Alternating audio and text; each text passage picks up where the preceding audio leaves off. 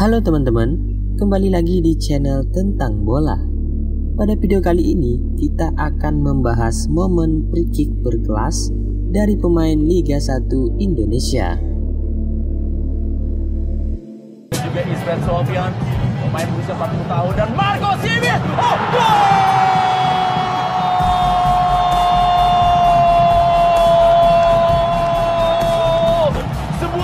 sukar dipercaya pemirsa dicetak oleh top skor sementara dari Shopee Liga 1 yang sudah berhasil mencetak gol sejauh ini dengan jumlah 18 gol Marco Marco. Dan Fadil Sautul klasik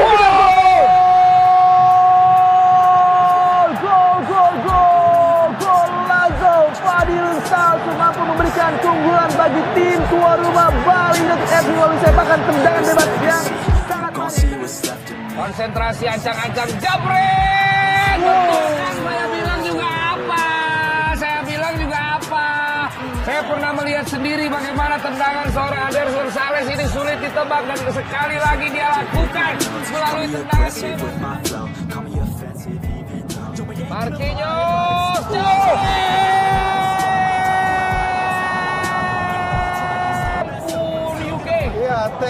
Marquinhos dan juga Fernandinho. Dami yang sangat baik. Dan juga placing yang terukur. Ke sudut yang tidak bisa dijangkau. Kita lihat lagi lagi.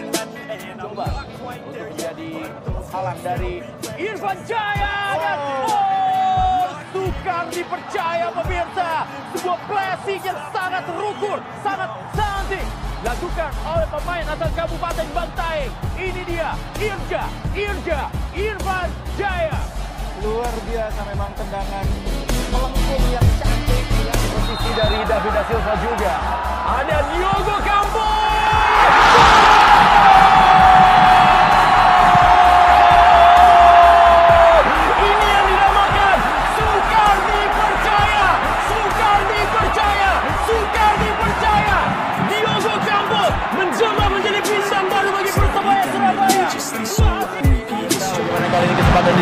ada dua pemain dari Persib Bandung dan ternyata dengan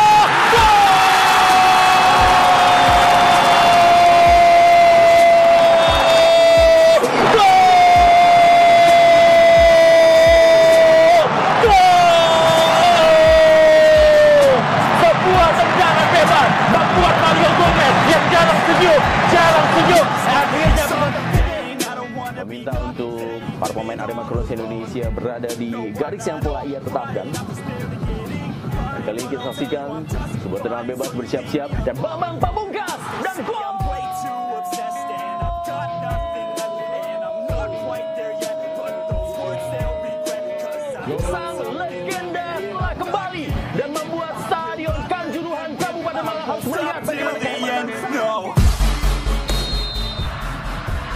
Kiper Swiss ternyata langsung jabret.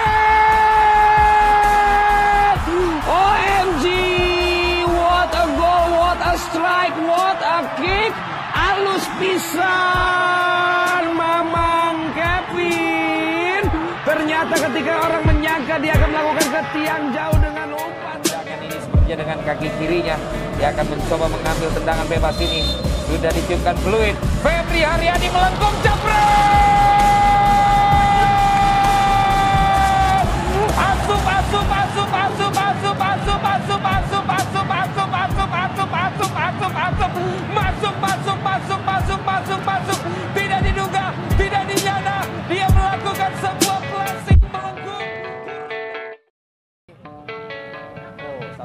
Dari PSIS tadi. Dan ini membuat Ustam Rusdiana bingung juga nih siapa yang Oh, Pratama Arhan. Itu dia pemirsa. Itu yang saya bilang. Gol!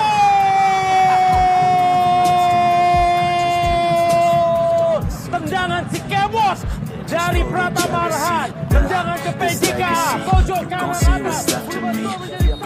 Mengambil ancang-ancang kali ini Irfan Haris Bahdim sudah dilakukan.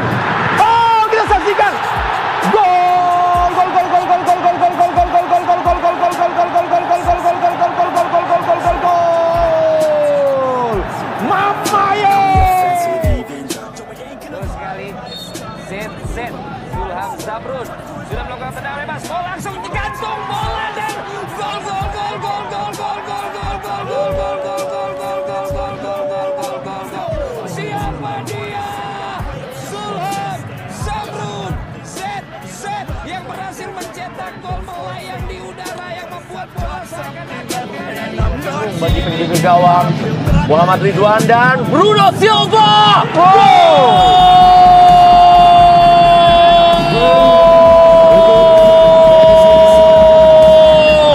Tendangan pisang melengkung dari Bruno Silva menjebol gawang dari Persela Lamongan 0-1 PSS Semarang unggul atas Persela Lamongan. Ya, inilah sepak bola kita lihat ya tim yang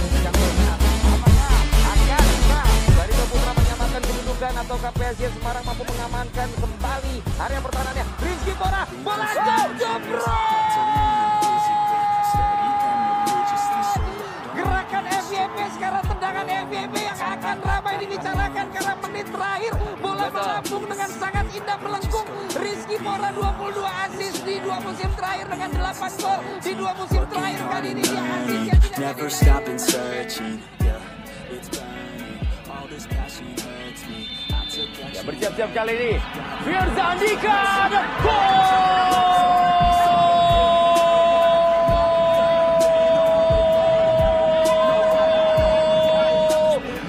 tendangan kaki kebot pemirsa dari Firza Andika membuat skor menjadi 1-3 di penghujung pertandingan di Stadion Manahan Solo dalam Piala Menpora 2022.